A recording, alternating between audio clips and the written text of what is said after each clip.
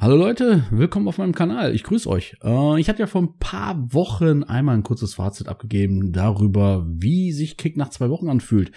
Jetzt haben wir einen Monat mittlerweile auf Kick verbracht, äh, sprich eigentlich ein bisschen drüber. Ich, heute ist jetzt zum Beispiel 8.4. und ich habe am 1.3. angefangen. Und ich will euch ein kurzes Update dazu geben. Ja, in diesem Video geht's eigentlich mehr oder weniger darum, dass ich ein bisschen kritischer jetzt auf äh, Kick mal einmal schaue. Und ähm, ich fange am besten einfach mit drei Punkten an, die ich beim letzten Mal schon mal angesprochen hatte. Das wäre einmal das Impressum, äh, was ich mal erwähnt hatte. Dann einmal quasi der anfängliche Eindruck, es würde sich viel verändern. Und dann noch äh, einmal ein kurzer Kommentar zur App. Danach habe ich noch weitere Kommentare. Also geht jetzt nicht nur um, um diese drei Punkte. Nur ich fange jetzt erstmal mit den Kommentaren an, die ich beim letzten Mal halt eben angesprochen hatte. Thema Impressum. Äh, da hat sich jetzt nicht viel verändert. Äh, es ist jetzt sogar so, dass man hier und da doch, beziehungsweise in, mein, ja, in meinem Fall, habe ich doch eher die Vermutung, dass es eventuell sein könnte, dass es absichtlich halt eben so ist, dass wir kein Impressum halt eben auf dieser Seite sehen. Ich habe dann so eine kleine Verschwörungstheorie. Äh, lass mich mal davon ähm, so ein bisschen erzählen. Ne? Ihr wisst ja, wie gesagt, das ist ja ein offenes Geheimnis, die der Twitch-Quellcode, der wurde ja geleakt und jemand hat ihn halt eben gekauft, um diesen Code dann halt entsprechend für die Kickstart, äh, nicht Startseite, für die Kickseite halt verwenden zu können hätte dann zur Folge, dass zum Beispiel Twitch oder Amazon, wer ja auch immer, ne, der für, für diesen ursprünglichen Quellcode verantwortlich ist, der könnte quasi hingehen und sagen, hört mal hier, ihr verwendet unseren Quellcode, ihr ja, verursacht damit einen Copyright-Verstoß. Ne? Und was würde in diesem Fall passieren? Normalerweise, wenn da Untersuchungen gäbe und wenn herausgestellt werden würde, dass dieser Code wirklich geklaut sei und nicht rechtens verwendet wird, würde die Seite wahrscheinlich down genommen werden. Ähm, deswegen vermute ich jetzt mal, dass daher diese, diese, das Impressum einfach aufgrund dessen halt eben fehlt. Ähm, soweit ich jetzt noch gerüchteweise halt eben mitbekommen habe, ist, dass ja nun versucht werden soll, anscheinend, dass diesen Quelltext, der jetzt halt eben in Verwendung ist, ne, so weitgehend zu verändern, dass es hier und da vielleicht keinen wirklichen Hinweis mehr darauf gibt, dass ein ja, quasi ein Copyright-Verstoß halt eben äh, durchgeführt wurde. Inwieweit das machbar ist, ey, keine Ahnung. Ähm, da bin ich jetzt leider nicht so wirklich in der, in der kompletten Materie drin, um da jetzt wirklich meinen mein Senf dazu geben zu können. Es ist jetzt nur eine Vermutung, ne? Wie gesagt, das ist, geht schon mehr Richtung Verschwörungstheorie, ne? So viel dazu. Ne? Gehen wir, kommen wir einfach mal zum nächsten Punkt. Und zwar geht es darum, der Eindruck, es würde sich viel in der Applikation beziehungsweise im ähm, Aufbau der Seite verändern. So in den letzten Wochen habe ich gemerkt, wenn man sich so die Changelog so anschaut, äh, die so im offiziellen Discord-Kanal halt eben gepostet werden, es ist nicht immer der Fall, dass da überhaupt was hinterlegt wird. Also es kommen re relativ spärliche Infos, äh, Infos darüber halt eben rüber, was sich denn auf der Plattform selber geändert hat. Und äh, deswegen gehe ich jetzt mal davon aus, dass auch sehr wahrscheinlich der Fokus der Entwicklung auch mehr auf die App ausgelegt ist ich weiß jetzt nicht, wie viele Entwickler da arbeiten, warum, warum jetzt auf einmal alle auf der, auf der App halt eben rumreiten, äh, weiß ich nicht. Wie gesagt, ist auch nur eine Vermutung. Nur, ähm, wie gesagt, es sieht so danach aus, als würde man doch mehr den Fokus auf die App halt eben äh, legen, damit halt mehr Zuschauer halt eben auf diese Plattform kommen. Ja, was dann halt eben zum dritten Punkt führt, äh, Thema App, ja, die ist jetzt mittlerweile da. Hat sehr, ja, hat ein paar Anlaufschwierigkeiten gehabt. Also erstens, äh, hatte ich ja gesagt, die wurde ja in den ersten zwei Wochen wurde, wurde die App halt eben verschoben bis hin, ich weiß nicht mal, bis Anfang April, wenn ich mich jetzt nicht irre, oder Ende März, wie auch immer. Es hat einen Monat gedauert, seitdem ich dabei bin, bis diese App halt eben, ähm, ja, für iOS verfügbar war. Dann hieß es, nee, beziehungsweise erst hieß es, die Android-Version sollte früher kommen. Da gibt's eigentlich keine Probleme, Qual äh, Qualitätssicherung oder wie auch immer, die, die Überprüfung, die würde halt eben noch stattfinden. Und komischerweise war dann auf einmal die iOS-Version äh, direkt von Anfang an halt eben da. Gut für mich, ich habe ich hab ja ein iPhone, äh, ich habe keine Android-Geräte und äh, hatte somit erstmal keine Probleme damit. Äh, hat dann, glaube ich, eine Woche nochmal gedauert, bis dann wirklich die App für Android halt eben da war. Und aber jetzt unabhängig davon, ich glaube, bei beiden, beziehungsweise eher bei Android, gab es wohl relativ viele Probleme, was Login halt eben anging. Äh, gab hier und da ein paar Workarounds. Mittlerweile scheint's wohl, hoffe ich mal, einigermaßen behoben worden zu sein. Ich, ich wie gesagt, ich habe mit Android wenig zu tun, nur ne, das ist das halt eben, was äh, am Anfang halt eben akt aktuell war. Ähm, da, da schien es halt Probleme zu geben oder zu ja doch zu haben. Und da, was mir noch einfällt zur App, im Bezug von Android, ich glaube bei äh, beziehungsweise bei iOS, bei Android war gab's gibt's ähnliche oder andere äh, andere Probleme allerdings im gleichen Bereich. Die Tastaturbedienung ist ist ein bisschen buggy, ähm, beziehungsweise nicht so wie man es gewohnt ist. Beispiel, man tippt halt man tippt halt einfach seinen Text ein, will ein Smiley einfügen, will dann weiteren Text eingeben und äh, normalerweise ist es ja so, man tippt einen Text, geht auf Sonderzeichen zum Beispiel oder auf die Smileys, tippt das, tippt sein Smiley ein, drückt dann die Leertaste und in dem Zuge wird normalerweise automatisch auf die Buchstabenreihe Nummer umgewechselt oder auf die Buchstaben, auf das Layout umgewechselt. Ne? Das passiert leider nicht. Man muss das immer händisch machen und das ist ein bisschen, ein bisschen sehr merkwürdig. Und äh, wenn du, wenn man auch zum Beispiel Smileys einfügen möchte, dann nimmt die Fläche von den Smileys den, ja, den halben Bildschirm quasi ein, so dass man nicht mehr die, die, die Zeile sieht, in der man halt eben reintippt. Und es ist ein bisschen, ist ein bisschen, ja, sehr gewöhnungsbedürftig, da, da, da irgendwie entgegenzuwirken. Ne? Grund, Grund, ja, an für sich funktioniert ja alles, ne? ohne Probleme. Ähm, nur wie gesagt, die, die Übersicht und ähm, die Usability, die leidet so ein bisschen darunter, ist jetzt aber kein, kein Drama. Äh, was mir jetzt noch auffällt, wenn Leute zum Beispiel bei mir in den Chat schreiben, die mit dem Android-Handy halt äh, unterwegs sind, na, die, die, die Rechtschreibkorrektur, die macht ganz komische Dinge. Ich weiß nicht, ob es an Android selber liegt, aber man kommt, da kommen so komische äh, ja, Buchstabenwirrwarr-Geschichten halt einmal raus. Ja, ein bisschen, bisschen schwierig. Da muss man halt immer schauen und äh, deuten, was dann eigentlich derjenige, der Zuschauer halt eben wirklich geschrieben haben könnte oder wollte. Äh, bisschen, bisschen schwierig. Gut, das waren jetzt erstmal drei Themen, die ich beim letzten Mal angerissen habe, die jetzt noch aktuell halt eben ja noch ähm, vorhanden sind. Ich habe noch vier weitere Themen. Und zwar fange ich einfach mal mit dem ersten an.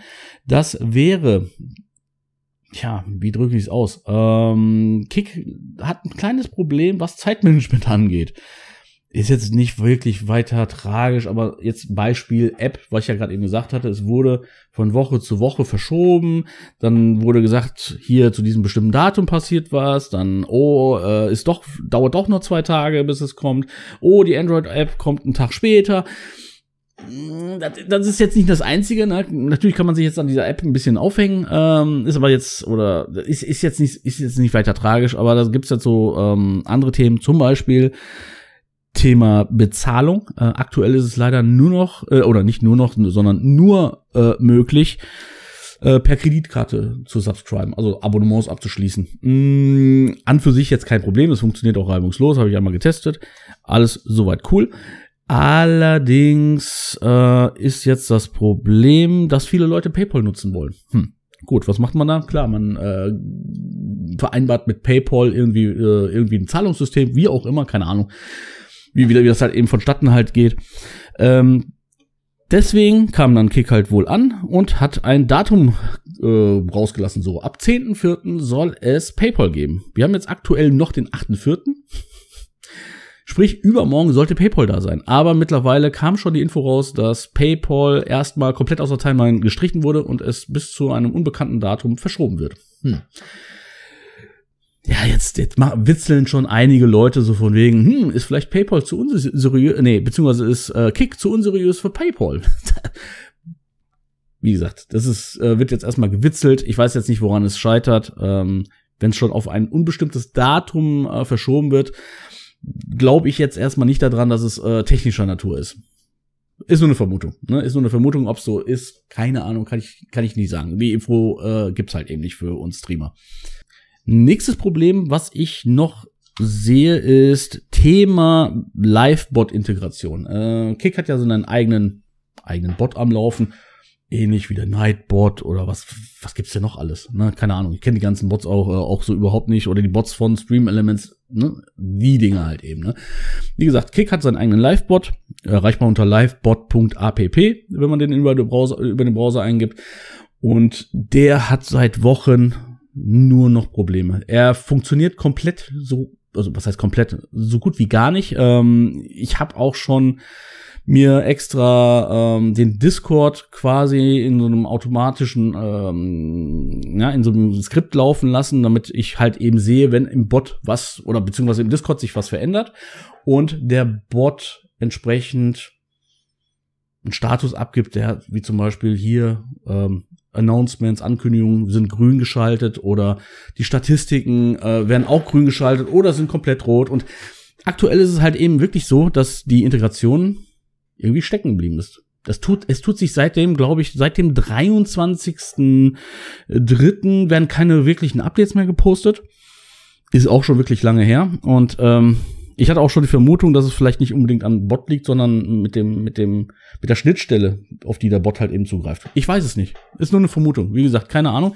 Es gibt allerdings eine externe Alternative, nennt sich Botrix. Die gibt's auch schon seit längerem für YouTube, Trovo, Twitch. Also es ist jetzt kein unbekannter Bot.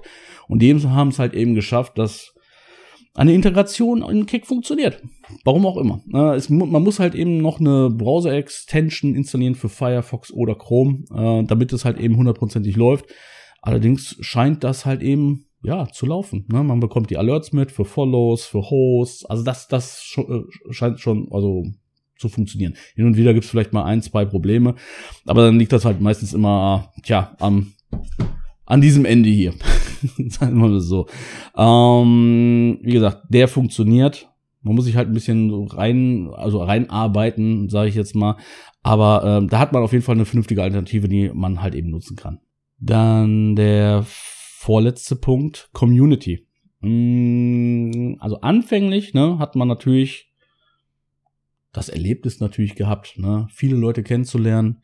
Man trifft auch andere Streamer, hier und da vielleicht auch ein paar Zuschauer, die sich so kennenlernen, die sich so aus, austauschen. Hatte ich ja gesagt, gemeinsame Interessen, ne? Alle wollen streamen. Ne?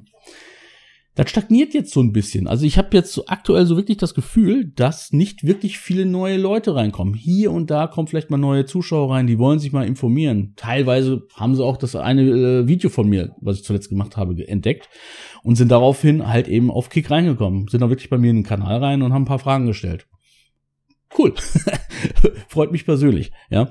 Ähm, nur wie gesagt, dieser, der, der, der, der, der Andrang, ne, den man so jetzt so erwartet hat, ne, der blieb komplett aus. Der blieb komplett aus. Also ähm, Benutzerfluss, da könnte sich auf jeden Fall noch ein bisschen was tun. Das bringt mich dann auch gleich zum nächsten Thema. Thema Benutzerfluss. Ich, ich greife mal ein bisschen ähm, ein höher, höher liegendes Thema auf. Und zwar es scheint sich auch innerhalb der Community schon hier und da so langsam rauszukristallisieren, dass viele Kick auch als Geschäftsmodell jetzt aktuell schon ansehen. Ne? Die machen jetzt ein bisschen auf Business, versuchen sich hier natürlich ein bisschen ja, eine, eine schnelle Mark zu verdienen, sag ich jetzt mal. Und ähm, das merkt man hier auch bei dem einen oder anderen Streamer. Ne? Ist jetzt nicht verwerflich. Ähm, man merkt es halt eben nur. Ne? Das, ist, das ist ein bisschen schade an der Stelle. Ne? Viele sind, die halt eben hier auf Kick halt eben sind, die, die haben nichts mit Casino zu tun. Die haben keine Berührungspunkte zu Casino. Die machen das wirklich hobbymäßig. Ne? Klar haben viele halt ihr, bereits schon ihren Affiliate-Status erreicht, freuen sich über jeden, jeden einzelnen Sub, der vielleicht mal reinkommt. Ne?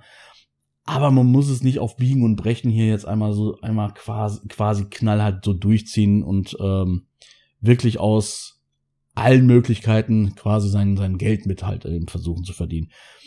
Kommt ein bisschen unseriös rüber, finde ich. Ja, ich gehe jetzt nicht in einzelne Details rein, ne, aber da kommen wir jetzt zum Beispiel Thema äh, View Count, den wir auch, ähm, was wir auch, oder was ich das letzte Mal halt eben besprochen hatte, äh, oder an, ja, benannt hatte, dass man diesen halt eben manipulieren kann, ne? sei es mit Bots, sei es halt eben mit einfachen Mitteln. Mh, mm, es, es fällt auf. Es fällt auf, wenn das nicht so ganz ordentlich halt eben äh, stattfindet. Ne? Zum Beispiel, wenn dann auf einmal ein Host kommt mit über 100 Zuschauern und von, dem, von diesen 100 Zuschauern sind eine Minute später, weiß nicht, nur noch vier da. das, das wirkt, das, das wirkt nicht, das wirkt nicht richtig. Ne? Es wirkt einfach nicht ordentlich. Und ähm, da sieht man halt eben auch ähm, diese View-Counts, die wir da halt eben noch haben, das, das, das, das passt einfach noch nicht. Es hieß zum Beispiel auch, dass die View-Counts angepasst werden, gefixt werden. Das war nur ein Gerücht, es hat sich nichts getan. Ne? Es hat sich nichts getan. Für mich ist es okay, zum Beispiel, jetzt sage ich jetzt mal, ähm, ich gehe da jetzt offen mit um. Ich versuche natürlich auch meinen, meinen Verified-Status zu erlangen. Was der am Ende bringt, erstmal, also aktuell gar nichts. Äh, aber Haken haben oder nicht, ist, ist, ist natürlich eine Sache. Man, man versucht es einfach mal. Äh, ich werde dann eine Bewerbung äh, rausschicken, wenn ich dann zum Beispiel im Durchschnitt meine 50 Views haben, habe. Wie gesagt, im Durchschnitt.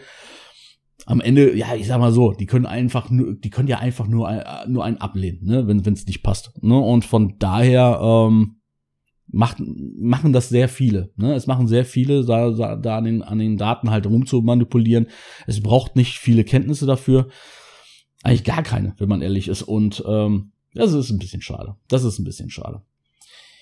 Gut, so viel dazu. Das war jetzt mein Fazit nach gut einem Monat ich bleib auf jeden Fall noch weiter bei Kick. An für sich macht mir auch immer noch Spaß, ne, auf, auf Kick zu streamen. Man, man hat hier immer noch seine, seine, seine Community, die sich so hier und da so nach und nach auch etabliert. Man, man, man kennt auch fast, fast jeden, der jetzt irgendwie aktiv ist, was eigentlich aktuell eigentlich re relativ cool ist. Also wir sind wirklich eine kleine Blase oder eine größere Blase mittlerweile mit Streamern, die sich äh, gerne auch gemeinsam miteinander untereinander austauschen und ähm, aktuell sehe ich aber auch jetzt nicht keinen Grund, wieder zurück zu Twitch zu gehen. Also mit Twitch habe ich so gar nichts mehr im Hut.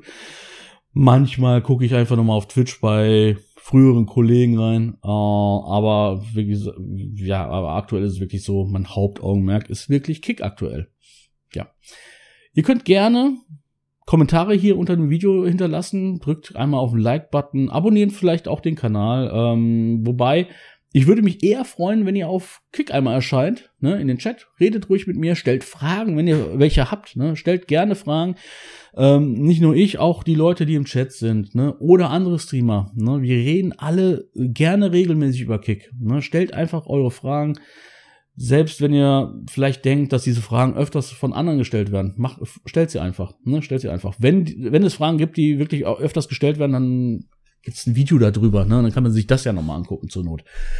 Aber nichtsdestotrotz, ähm, ja, würde ich mich auf jeden Fall freuen, wenn es ein bisschen Interaktion gibt. Äh, ich muss gestehen, äh, ich habe jetzt noch gar nicht auf irgendwelche Zahlen geguckt auf diesem YouTube-Kanal. Äh, ich merke nur hier und da kommen ein paar Leute halt eben hier rein und ähm, fragen dann halt eben in dem Chat. Ne? Deswegen kommt einfach rüber, schaut in oder schreibt auch gerne äh, Kommentare rein. Ähm, ich versuche einmal ein Auge drauf zu haben Ne, würde mich auf jeden Fall freuen. In dem Sinne, ne, ich bin raus. Ich wünsche euch noch einen schönen Tag, guten Abend, guten Mittag. In dem Sinne, man sieht sich, ne? Bis dann, ciao.